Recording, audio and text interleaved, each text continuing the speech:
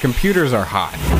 Oh! They are quite literally electricity to heat converters that happen to do some useful stuff along the way. Keeping personal computers cool in the beginning was easy. They didn't really do enough stuff to generate much heat. In fact, if you've ever taken a look at the CPU in an older game console, remember everything with a CPU is technically a computer, they didn't have any coolers of any kind. And this black material that encapsulates the circuitry of the CPU, yeah, that's plastic. They didn't even make these things out of a material that was good at dissipating heat. Processors just made so little heat that they didn't really have to care. Eventually, we crammed so many bits and bobs into those boopers that they started getting a bit toasty. And that's when we started to put hunks of metal on them to absorb the extra heat and keep our chips from transitioning into liquids. Oh, hey, do you like my mouse mat? It's the one from the table from the guy on YouTube, the Bringus guy. They were only supposed to be around till the end of August, but due to high demand, the people that were making this